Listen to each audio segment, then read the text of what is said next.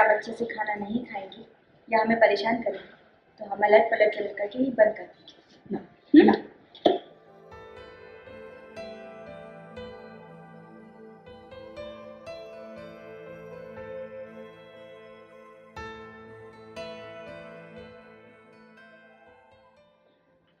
तुम्हारी हिम्मत कैसे हुई इस चेयर पे बैठने की?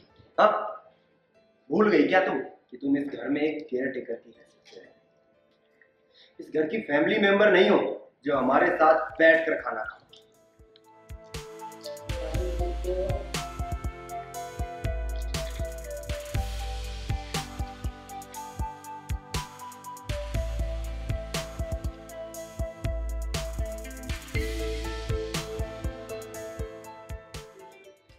हाँ ये लीजिए हाँ, अब आप और भी ज़्यादा सुंदर लग रही हैं। हाँ हाँ। कृष्णा।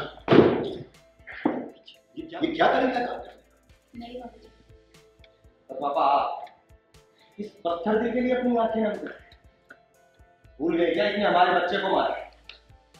हमारी ज़िंदगी में जहर घोलने के बाद हमें ही लेक्चर दे रही हो। और हम सिर्फ़ अम्मा की वजह से इसे झेल रहे हैं। वरना अपनी ज़िंदगी में और इस घर में इसकी परछाई तक नहीं पड़ रही। अरे तुम ये क्या इतना दलील दिए जा रही हो जी? कचहरी में आई हो और बाबू क्या गलत कह दिया? तुम भरोसे के लायक हो क्या हैं? बैठो बैठो professor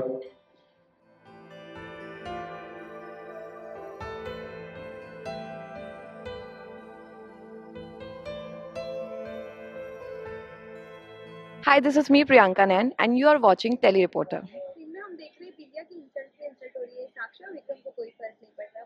जानना चाहेंगे कि बिंदिया की इंसल्ट क्यों हो बिंदिया की इंसल्ट इसलिए हो रही है क्योंकि पायल घर छोड़ के जा चुकी है एंड क्रिश को वो बिल्कुल भी अच्छा नहीं लग रहा है एंड वो बिंदिया को तो वैसे ही पसंद नहीं करता है।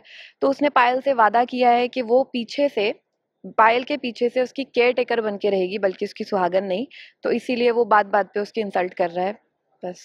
बाद में हमने देखा विक्रम सब बहुत अच्छा बनने की कोशिश कर है पापा को शांत करा रहा है भाइयों के बीच में ऐसा दिखा रहा है कि वो काफ़ी अच्छा है वो विक्रम और साक्षी की स्ट्रैटेजी है। अच्छे बन के रहना क्योंकि अभी पायल जा चुकी है एंड बिंदिया बन चुकी है केयर टेकर तो यही मौका है कि साक्षी और विक्रम बस बटरिंग कर करके अच्छे बन बन के बस ये प्रॉपर्टी हड़प ले और मम्मी पापा की निगाह में अच्छे बन, बेटे बहू बन जाए। थैंक यू अच्छी लग रही है या नहीं लग रही वो बताओ। Oh thank you so much हाँ ये मेरा न्यू चेंज हुआ है एक्चुअली न्यू थीम के लिए। तो इसलिए एंड मुझे ये लुक बहुत प्रिटी लग रहा है। थैंक्स टू विनी मैम उनका ही लुक है ये।